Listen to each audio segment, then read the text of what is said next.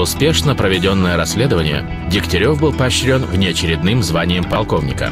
Отказавшись от предложенной ему штабной должности, он выразил желание направиться в зону постоянным наблюдателем от службы безопасности. Информация о пси-установках, добытая майором Дегтяревым, не на шутку встревожила его руководство. Все материалы по X-лабораториям были изъяты из военных архивов и помечены грифом особой важности. Сотрудники СБУ в зоне получили приказ любой ценой воспрепятствовать распространению информации о сути проводившихся работ. На основе промышленной документации изделия номер 62 было создано несколько опытных образцов. После испытаний от массового применения данного оружия было решено отказаться. Стоимость боеприпасов оказалась слишком высокой. Впрочем, некоторые факты позволяют предположить, что совершенствование гаусс-пушки негласно продолжается. После того, как все попытки взять Скадовск под контроль провалились, Султан и его банда покинули судно. С исчезновением этой опасности слабый ручеек сталкеров и артефактов превратился в бурный поток. Бизнес Бороды стал процветать, а Скадовск в популярности почти сравнился с баром «Сторинген». После уничтожения логова кровососов твари зоны уже не могли помешать течению здешней жизни. На какое-то время старое судно стало центром относительной стабильности в изменчивом мире зоны. Между отрядами «Свободы» и «Долга» на станции Янов установилось шаткое равновесие. Утомленные бессмысленной борьбой, бойцы враждующих группировок стали пополнять ряды вольных сталкеров – Научно-исследовательская экспедиция профессоров Германа и Озерского увенчалась успехом. Собранные данные помогли в разработке нескольких уникальных устройств и лекарственных препаратов. В свете этого финансирование программ исследования зоны было многократно увеличено. Рассказы Гарика о борьбе военных с опасностями Припяти заинтересовали многих, и вскоре силами разрозненных групп началось изучение города-призрака.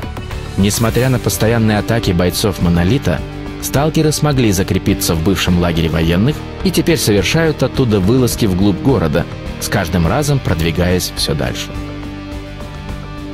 Рассказы об оазисе перестали быть легендами. Все чаще в разговорах сталкеров упоминались те, кто смог найти путь к этой тайной аномалии.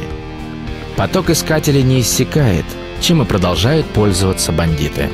Новички клюют на предложение показать дорогу к оазису, но дело обычно заканчивается грабежом где-нибудь в сторонке от сталкерских троп. В зоне продолжают действовать отряды наемников. Их интерес к секретным лабораториям заметно возрос и успел привлечь пристальное внимание СБУ.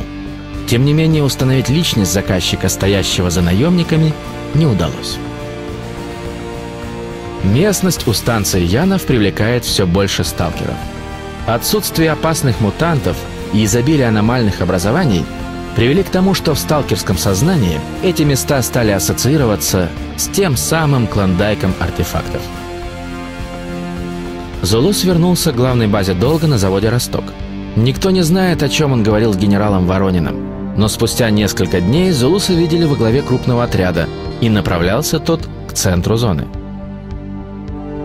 Вано ушел на армейские склады к свободе где легкостью характера и оптимизмом быстро заслужил всеобщую симпатию. В конце концов, он возглавил небольшую группу исследователей, которая занялась изучением аномалий. В зоне появилась новая группа сталкеров. Подготовлены они хорошо, но цели их никому не известны.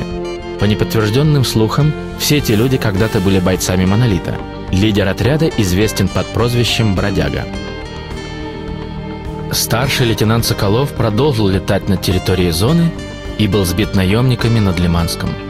Через две недели его, выжившего не иначе как чудом, возле кордона подобрал патруль. Вскоре Соколов покинул ряды ВВС и перешел в гражданскую авиацию. Сыч наладил хорошие связи с заказчиками вне зоны. Его товар – информация.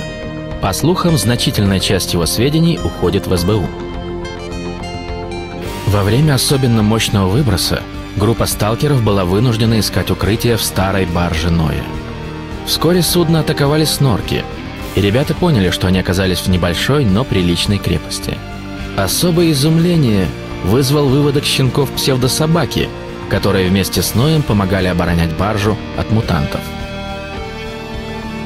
Кардан, узнав о судьбе друзей, больше не помышлял о сталкерской карьере. Преодолев алкогольную зависимость, он перебрался на Янов, где вместе с Азотом организовал мастерскую по ремонту решительно всего. В свободное от работы время оба техника с увлечением конструируют средства передвижения, максимально подходящие для экстремальных условий зоны. Стрелок передал руководству СБУ добытые на станции данные. Эта информация подтолкнула правительство к созданию научно-исследовательского института Чернобыльской аномальной зоны. Место главного научного консультанта в нем занял сам Стрелок. Командир группы «Скат» полковник Ковальский после возвращения из зоны доложил начальству о причинах провала операции «Фарватер». После долгого разбирательства и многих попыток переложить на него всю ответственность, полковник с почетом ушел в отставку –